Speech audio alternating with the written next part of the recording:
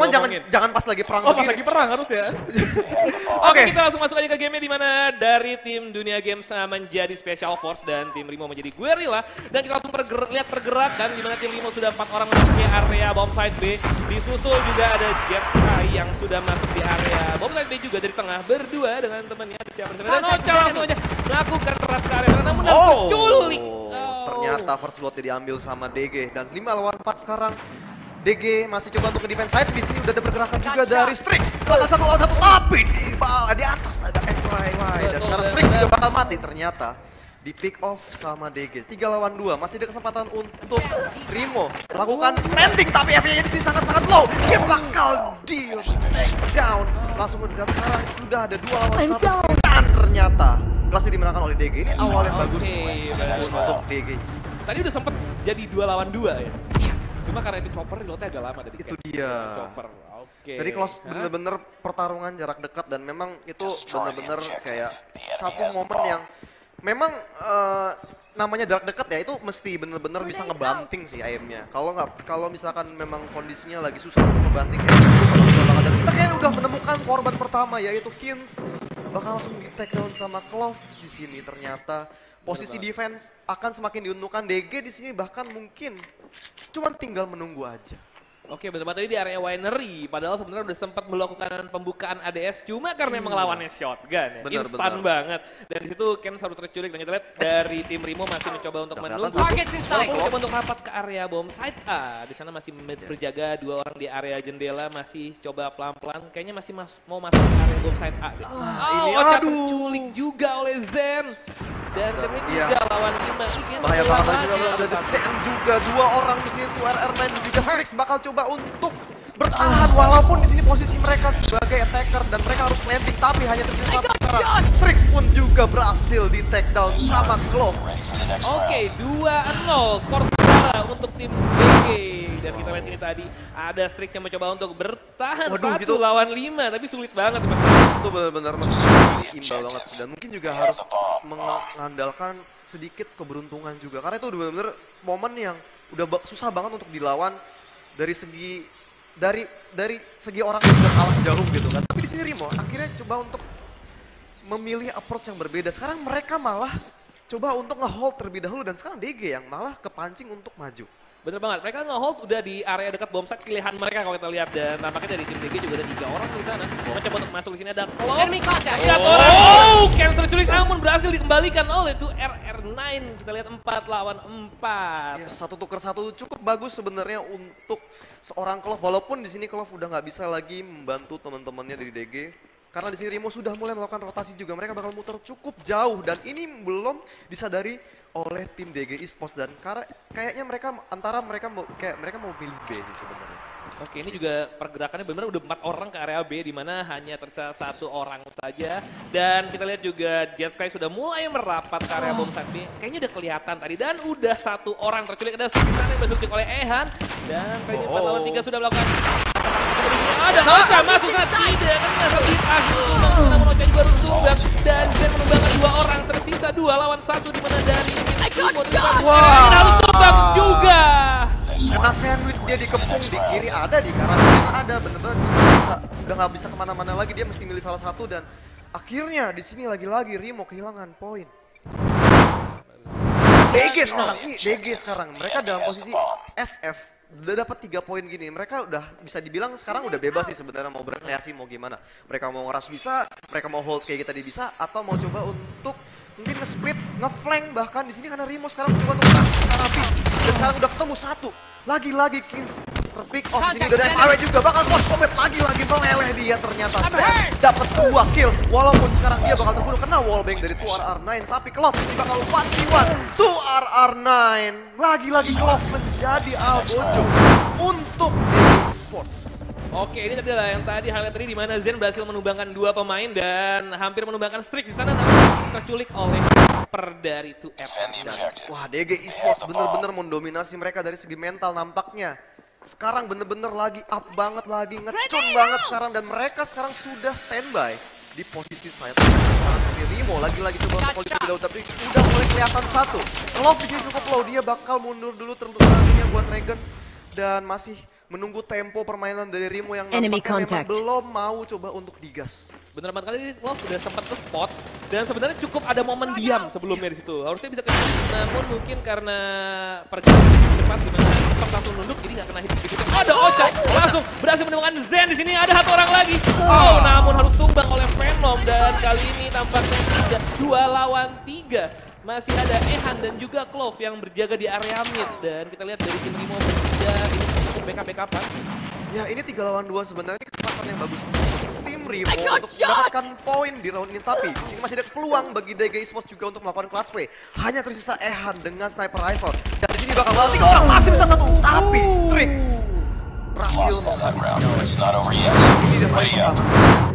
Tapi kita bakal tuker side, kita lihat dulu bagaimana Ocha Team aja. fight di ronde yang tadi ya. Ini Ocha Deza tadi dapat cuman harus Betul, tapi habis itu diambil lagi sama Strix. Jadi Iya. bagus banget sebenarnya. Culik-culikannya bagus banget situ. Jadi walaupun dia harus tumbang nggak percuma. Dan tadi Ocha benar-benar ngebuka out. jalan supaya teman-temannya bisa masuk ke area tengah tadi. Nah, Dan kali ini udah tukeran side tentunya di sini DG bakal menjadi attacker, mereka bakal planting, mereka bakal coba untuk bergerak. Mereka masih nge-split sebenarnya di sini. Eh, satu orang, ah dua orang sorry, dua orang coba untuk opas dari atas menuju ke arah side A. Di sini Rimo juga nampaknya sudah mulai membaca karena udah mulai kelihatan kayak sedikit-sedikit ada kedengeran step-stepnya juga eh, nampaknya ya.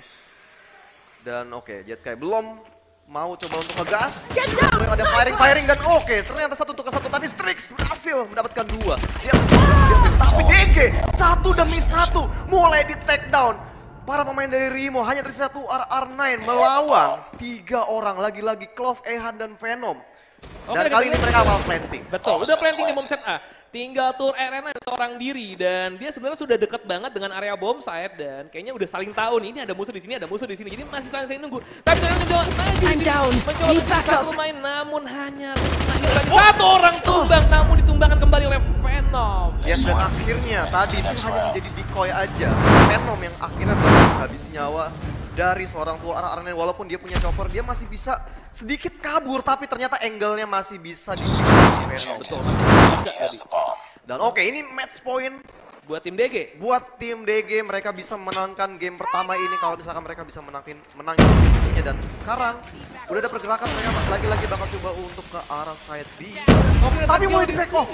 Betul, tinggal satu orang di mana Ehan seorang diri dan beberapa depan mereka depan dia dan Wow, mencoba untuk diras dari dua arah di sandwich di sini dan akhirnya harus tumbang oleh tuh RR9. Lost that Wow. Itu cepet banget. yet. Iya, Jadi itu cepet banget. Mereka kedua serang. tim 5 lawan 5 ketemu, Ketemu. di area B dan Yes. tempatnya kecil banget Itu cuma di gang.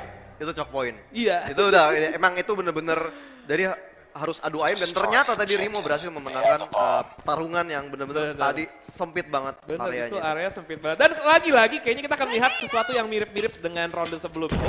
Tapi kayaknya agak nge-hold dulu di sini. Harus mencoba, oh apa yang terjadi sana Klov harus bunuh diri nampaknya. Loh. Nampaknya ada salah mungkin di granat kayaknya ya. Mungkin, Ada mungkin. frag yang enggak salah lempar tapi kita lihat di sini. Rimo masih coba Oh. untuk hold tapi Venom, Jetski di sini akan mendapatkan kill 2 kill sekarang Ocha DZ hanya sisa 3 orang saja. 3 lawan 4. Betul banget. Tadi darah dari dua pemain DG yang ada di depan lorong depan si V, FYY ini udah sekarat sebenarnya. Cuma tadi memutusin untuk mundur dulu untuk regroup karena mungkin cukup beresiko.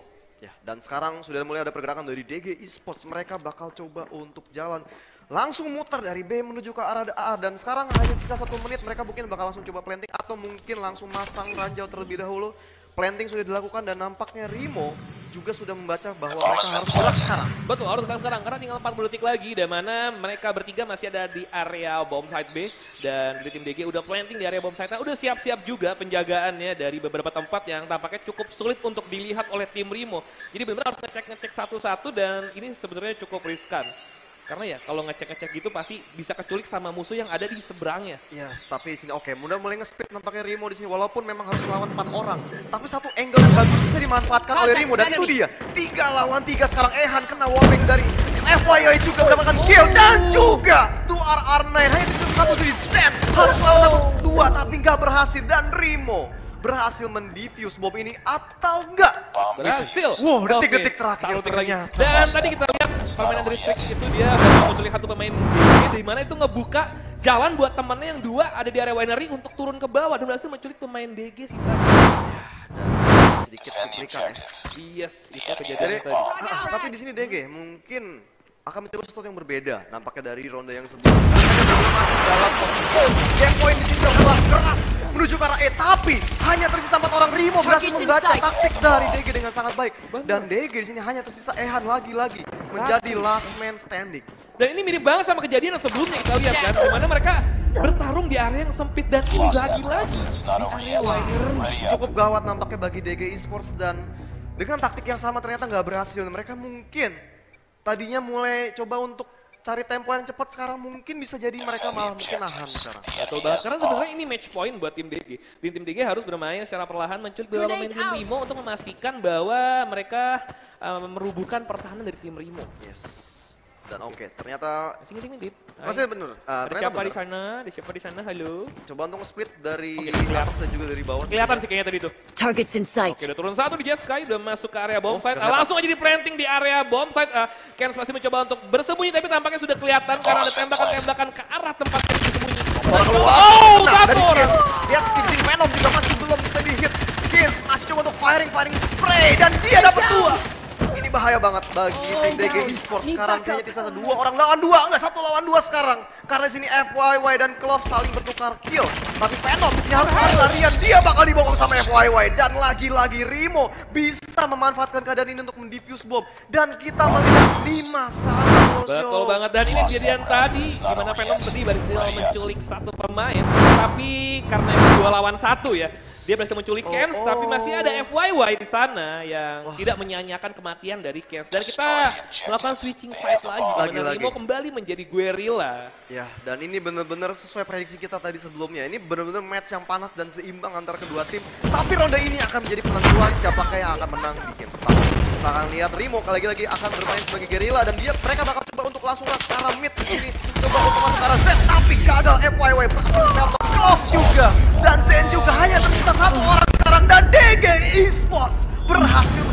game pertama.